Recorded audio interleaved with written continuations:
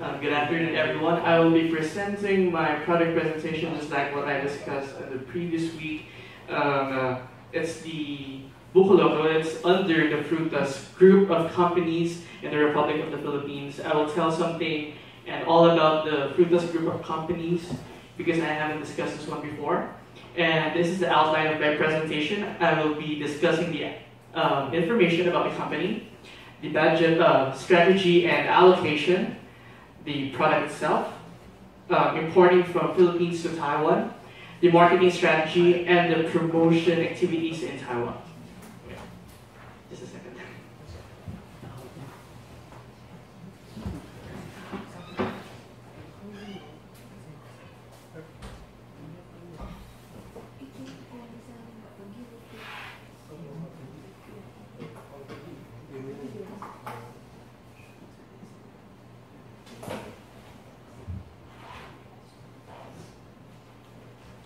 Cool. So I will first discuss about the company that I mentioned. It's the Fruitas group of companies. I'll talk about the basic information and some of the preview of their website. So this is the Fruitas group of company, um, abbreviated as FGC. It is a customer and service-oriented company that boasts of wide logistics nationwide in the Philippines. Customer concerns are addressed promptly, and we, or they have, open communications with the business partners and personnel and these are practices that ensure the maintenance of quality of, our, of their stores in every aspect, including service training, operations, and product standardization.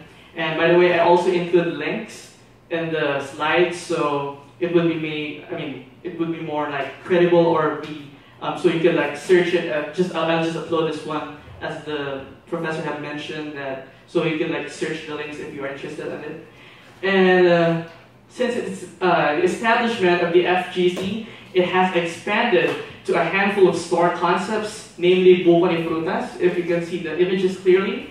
And they also have the Juice Avenue, Black Pearl, the Mango Farm, Fruitas Ice Candy, Yes Yes Yo, T-Rex French Fries, etc., etc., and a lot of um, subsidiaries of the um, FGC. But I will be just discussing one of their famous subsidiaries, which is the Buko Loco and their persistent marketing and advertising efforts, coupled with their ever innovative retail and business development that guarantee their products at the top of their um, consumers' minds. So this is actually their website. If you are interested to go in, you can just like search open your browser and go to fruitasgroup.com and you will see their variants of the products. So now I will discuss something that is very essential to this presentation that I haven't discussed um, at the previous time. And it is about the budget strategy and allocation that I want to implement. So we were asked a question that if I were to be given a 1 million US dollars for the business and uh, for the business budget allocation, how will I spend it? So uh, I've just created a percentage or just an overview of how will I spend it. First is the major part or the major part where will I consume my budget is the product itself. So basically it's 50% of the 1 million US dollars for the budget. And uh, the next thing is, of course, I need to make my product popular because it's due in Taiwan. So I need to push or give or exert an effort in marketing. So 30% of the budget will be distributed to promoting this Buko Loco. And 20% of course is for the miscellaneous. I'll talk about it uh, later. And for the 50%, it is actually, you know, 50% of the million US dollar is 500,000. And first is I would look into the production of the uh, product, of course. Uh, this includes the coconuts exported from Philippines, which is estimated at 150,000 US dollars, because this is primarily the like the star of the business. Of course, you have to spend money on the product you are creating or the product you're selling. And of course, the ingredients, it's not just plainly a coconut because you have added some like uh, like flavors, etc., etc. So it's like estimated to be fifty thousand dollars. That's like too much. And uh, I will also allot a budget to the materials, manufacturing, and distribution of around 250,000 US dollars. Uh, for example, of course, you need to spend in bottles, straws, and other like the that makes your product more presentable. It's estimated to be 10,000 US dollars. The product labels, $5,000 um, for printing and stuff. Sorry, uh, I just made this more specific just to make it more realistic. And also the labor cost for minimal number of employees. Of course, you'll just start a business, not that you'll start a business with a big one, so you will just have a minimal number of employees for the manufacturing and distribution that is estimated to be 80,000 85,000 US dollars. And of course, the site rental for manufacturing, this is small site, and for the distribution, for example, in malls. I will just discuss it later on. It would cost me like 175 US dollars. And the product development, of course, it's your product is not just stable. It is not just what you introduce at the first month of Buko Loco. It'll also be the same, same in product and the product of Buko Loco in the next two years. So, of course, you will need to spend the product development, research and development, product or test failure, estimated to be 25,000 US dollars.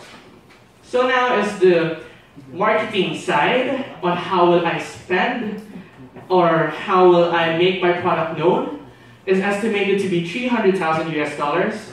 Um, I've made or selected a few modes of marketing. First marketing that I will use is called telemarketing, estimated to be 150,000 US dollars. The television marketing could cost around 100,000. And of course, telemarketing is not just about television, but also advertisement marketing with endorsers. And of course, who will be like, I, don't know any famous endorsers here in Taiwan, but I would be considering it as my marketing strategy that would cost me around 50,000 US dollars. We also have the face-to-face marketing that is estimated to be 50,000 US dollars. I will let the people or Taiwanese locals, foreigners, to have my product be tested or be tried. So I'll uh, be giving away for free or to sell the product initially at a lower cost, and it would cost me like around 50,000 US dollars. I would also be involving my product in events. So we have the event marketing and sponsorships that would cost me 50,000 US dollars. I would be participating in conventions and events. So yes, that's 1,000 US dollars. And lastly, we have the social media marketing, which is trending right now, is estimated to be 150,000 US dollars because I, I know that in Facebook, if you want to promote your um, product, you have to um, select the desired range of the product um, advertisement. For example, if I will just be endorsing the product to just Kaohsiung, so it will be cheaper than endorsing something to the whole Taiwan. So I would like to promote it because most people, or like um, some people, most people are now into social media, so that would be or have a big impact to my product promotion. So that would cost me around 150,000 US dollars. And I'm also considering the email promotions, for example, in companies and other um, establishments. And lastly, we have the budget allocation for the product. So this comes for the like emergency funds, just in case. Of course, this is a trial business or a business that is not yet established. So you have to make sure that your business would be long or would stay long, or you call it longevity. Uh, your product will not be just launched for this month, then on the following six months, it has, it's gone. So you have to spend money for this. I also um, allotted budget for the risk management, as what the previous speaker has discussed, like uh, Ms. Mariansha. Of course, risk management, this is not just in the media, but also in business. You have to invest in risk management that I have allotted 100,000 US dollars for it. This includes the material price volatility that costs 25,000 US dollars, the business and hidden taxes that of course you have to consider it. It's around 25,000 US dollars. And of course the emergency fund for health risks and other issues. You're selling a food product. You have to consider the health of your customers. So just in case, of course, that is li likely to happen because it's a food product and it costs around 50,000 US dollars. And of course, I'm also considering the corporate social responsibility, just like the other speaker. Um, I'm just like consolidating what the previous speaker have been here to, to the business. So it might be uh, those um, topics that were discussed is very relevant to this kind of presentation. And uh, CSR would be around 50,000 US dollars because I believe a million US dollars for starting a business is too much.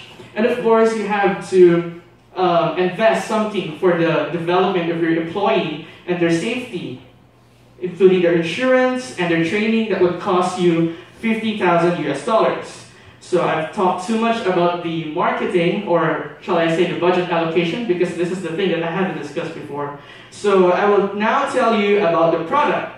The Buko Loco, uh, uh, call this, uh, it could be a shake, it could be a juice or whatever. And I will briefly discuss here the benefits because I discussed to this one and the previous one, and we have I have searched a video that will be uh, summarizing the benefits of the coconut juice. So this is just an overview, the eight benefits that I believe you have already know this one. The first one is it uh, is an aid in weight loss efforts. Number two, it's for the picture perfect skin. Number three, it's the ultimate hangover remedy. Number four, it facilitates digestion. Number five, it boosts hydration. Number six, reduces blood pressure. Number seven, rich in nutrients, and these are the vitamins and minerals that you can get if you have or like drink a buko juice or the buko loco. And lastly, is it compatible with the human blood? Now I will show you a video that will summarize some benefits or the benefits that I haven't mentioned in the previous slides. So it's from the New York Times. So please watch the video. Coconut water is not only a $400 million global food craze, in terms of marketing, it also appears to have nine lives.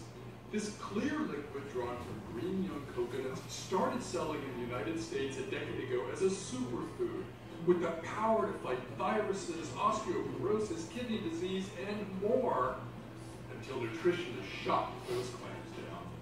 Then it was billed as better than sports drinks for rehydration until a 2011 class action lawsuit nipped that claim. Now, coconut water is being sold as a somewhat more healthful type of water with a growing host of added flavors to keep buyers excited. So what's in this packaged drink? Generally, coconut water has much less sugar than other fruit juices and a fair amount of nutrients, including magnesium and potassium. But so does a banana with a glass of water. And without coconut water's price tag of $1.99 and up for 11 ounces. And should coconut water run through all nine of its lives, competitors are ready to swoop in. The very latest in liquid nature includes bottled water from maple tree sap.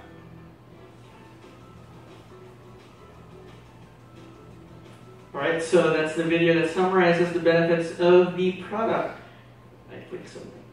So here, now I will tell you something about the how or why is the product be marketable to Taiwan. So this is an important question because uh, yes, I do have a good product, but would this be like um, liked by Taiwanese or by most of the Taiwanese, or will this will you like some Taiwanese would buy this one? So I've presented you some uh, reasons on how or why is this product be marketable to Taiwan. So if you guys are aware with the law of supply and demand, um, why would you supply someone to those who, does, who do not demand something?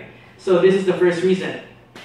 According to the Business Inquirer.net, there is a growing demand of the Taiwanese market for healthier and more natural food options. So this means that if I would be presenting something or a new product to the Taiwanese market, it should be considering the health benefits or something that would love or something that Taiwanese would love to buy. So I think this would be a good reason why is the product marketable and why buko juice. So this would be the next answer to my question. Buko juice is abundant and fresh in the Philippines. And Philippines is one of the top producers of coconut in the world. So why in the Philippines? Because Philippines is a tropical country. They have the best foods in the world according to Gary Swift the co-founder of Goats on the Road. You can check the website to see if it's uh, really accurate. And why Philippines? Because Philippines is very near to Taiwan. Philippines produces good quality coconut, and coconut can be easily exported from the Philippines to Taiwan. So this is now my marketing strategy. My marketing strategy, I mentioned this one earlier, so I would just like to show it to you again. Of course, I will be considering telemarketing, face-to-face marketing, event marketing and sponsorships, social media marketing, etc. to make my product known, not just in Kaohsiung, not just in Taipei, but in the whole Taiwan. So this is my promotion activities. Um, it includes the mall branches and the variants of size and flavor. So for the mall branches, Buko Loco is typically found in malls in the Philippines. So that is what I'm trying to, or what will I try to do here in Taiwan. So this would be also the marketing strategy when it's brought here in Taiwan. So I've just like plotted like just a wish list or my list of malls that I would love to have the Buko branch, Loco branch. So my target malls are Kaohsiung Arena, the Dream Mall, Ita, yeah, Ida Mall, and Taroko Park, if you have been there. It's a beautiful place.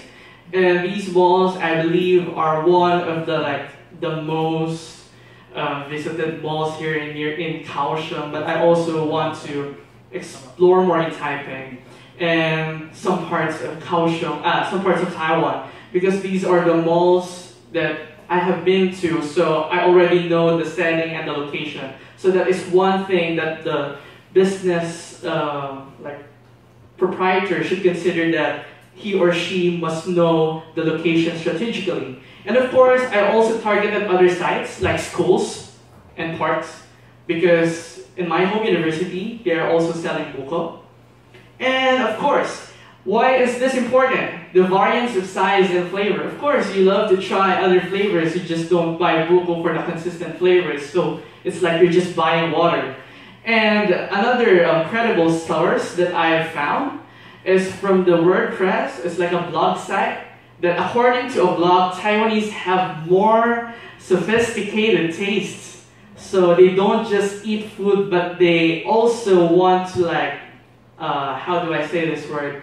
Um, they love to feel their, what they're eating. Is that true to the Taiwanese locals? If you don't just buy food, you also want, you're considering taste, right? Okay, so this site is credible. So a solution to this is a variety of flavors will be offered to them, and not just for the locals, but also for the foreign country or foreign people visiting the country. So just like the picture here, it's like, can you see this picture? They have the cocoa juice, they have the cocoa pandan, uh, they have the cocoa milk, the coconut milk, cocoa melon, if you know the melon, um, cocoa berry for the strawberry flavor, buko shake, and buko fruities. So, of course, here in Taiwan, if something like a globalization or a company penetrating Taiwan, they must also consider the taste of the Taiwanese. So maybe in the future, they will have like uh, what kind of flavor, like a milk tea. I believe there's a milk tea coconut shake. So I think that would be best to have it here, when, when the Buko Loco have it here in Taiwan, to have a milk tea flavor, I guess. And of course, it is not just us who wants to be successful. We also want you to be entrepreneurs and be successful by having your own Buko Loco cards or by franchising business. So to expand the business, offer the branches, we offer you the brand, the franchising business to the locals.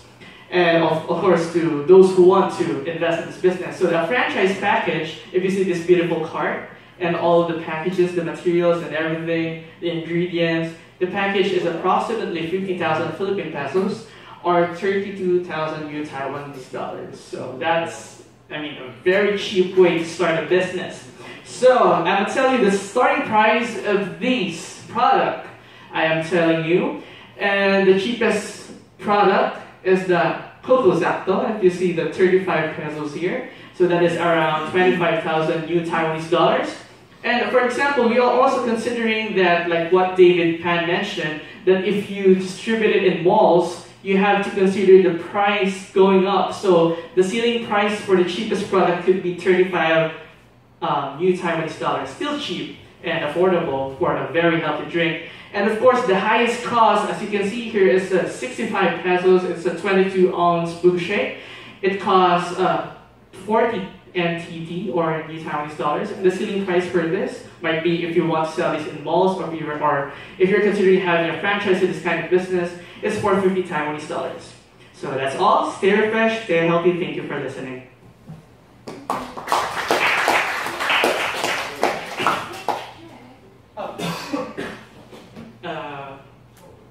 questions?